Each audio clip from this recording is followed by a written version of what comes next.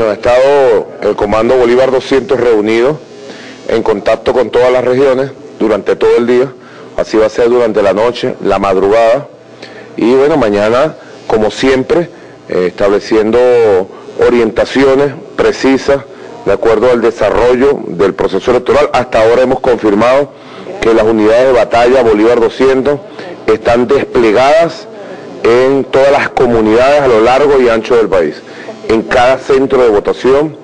nosotros le hacemos un llamado a las unidades de batalla Bolívar 200 que continúe el despliegue de fuerza, de trabajo, de capacidades, que desde primera hora ya eh, movilicemos muy temprano, sobre todo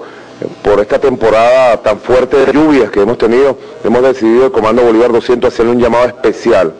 a todo el pueblo de Venezuela, a todos los hombres, mujeres honestos que eh, mañana van a salir a expresar su voluntad política, a participar en esta elección, que es la elección número 14 que se hace durante la era revolucionaria sobre la base de la constitución que creó en el 99 por voto popular la Asamblea Nacional unicameral, la Asamblea Nacional de la República Bolivariana de Venezuela, a todos los hombres y mujeres de este país que van a salir a votar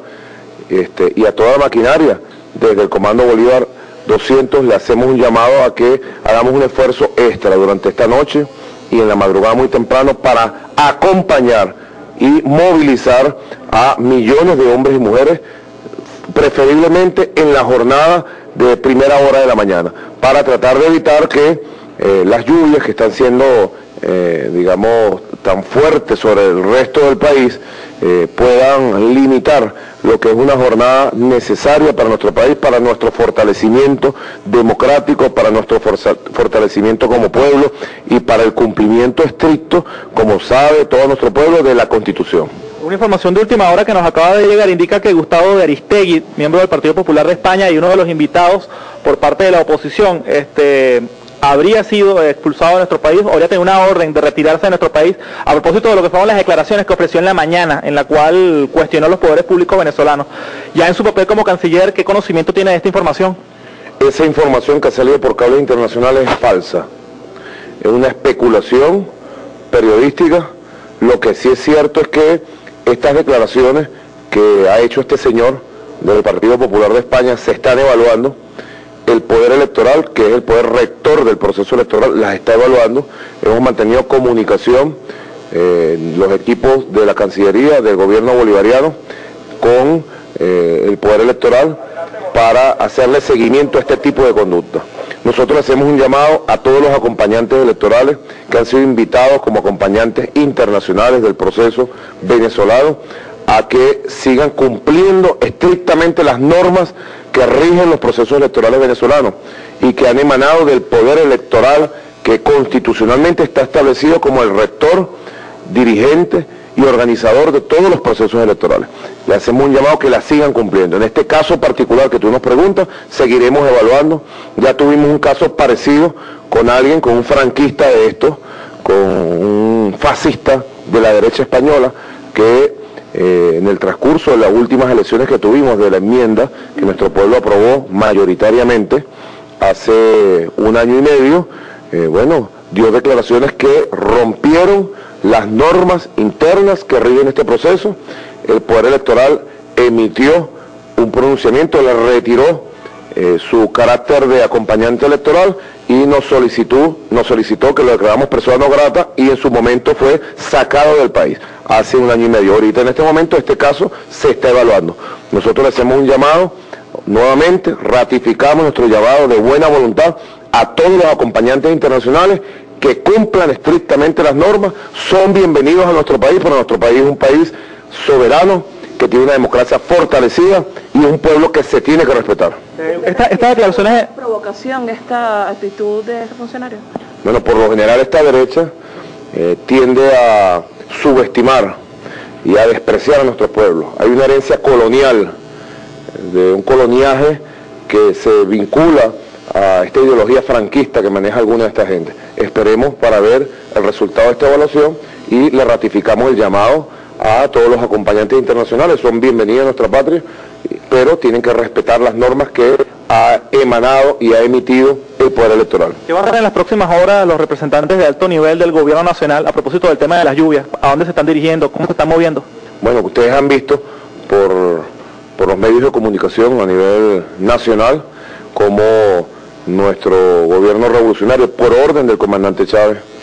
eh, se ha desplegado el vicepresidente ejecutivo Elías Agua, el ministro Tarek El Aizami, el ministro general en jefe Carlos Mata Figueroa, el ministro Francisco Garcés, bueno, en general los gobernadores, eh, la jefa de gobierno de Caracas, el alcalde Jorge Rodríguez, desplegados ampliamente tanto aquí en Caracas, en las zonas de Blandín, de Antímano, las zonas más afectadas por las lluvias, llevando, bueno, nuestro pésame, el dolor que nos embarga por la pérdida de algunos compatriotas, a sus familiares, a todos sus vecinos, y atendiendo de manera inmediata, rápida, esta situación tan difícil, ¿no? De esta eh, lluvia tan poderosa que hubo que provocó inundaciones y, deslaves en, una zona de Caracas, también en el estado Vargas, en el estado de Aragua, ya se atendió hace dos semanas el estado Carabobo, el gobierno nacional,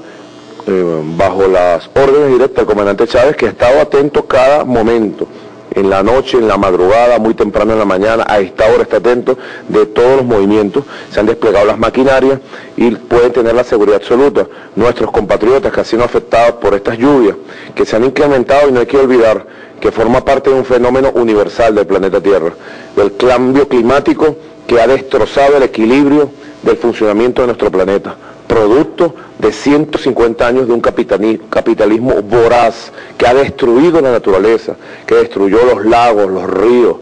que destruyó los mares, que contaminó el planeta a un punto casi de límite, que recalentó el planeta, que cambió todos los ciclos naturales y quienes más afectados estamos somos los pueblos del sur. Y no han querido reaccionar los responsables de los países capitalistas del norte para tomar un conjunto de medidas que permitan salvar el planeta, como ha sido el llamado el comandante Chávez en Copenhague, junto a Evo Morales en diciembre pasado, del comandante Fidel Castro desde el año 92 en la cumbre de la Tierra. Somos víctimas de la destrucción del planeta por parte de un capitalismo voraz que en 150 años destruyó nuestro equilibrio natural. Pero bueno, un gobierno como el del presidente Chávez está atendiendo, vamos a seguirlo atendiendo en medio del proceso electoral, después del proceso electoral, que ya tengamos los resultados, seguirá el proceso y nosotros le hacemos un llamado ratificando el llamado del comandante Hugo Chávez el día de ayer a estar muy pendientes los consejos comunales, las comunidades muy coordinados con los alcaldes, con los gobernadores, con los entes de gobierno, para que podamos, eh, digamos, mitigar las consecuencias negativas de fenómenos naturales como este.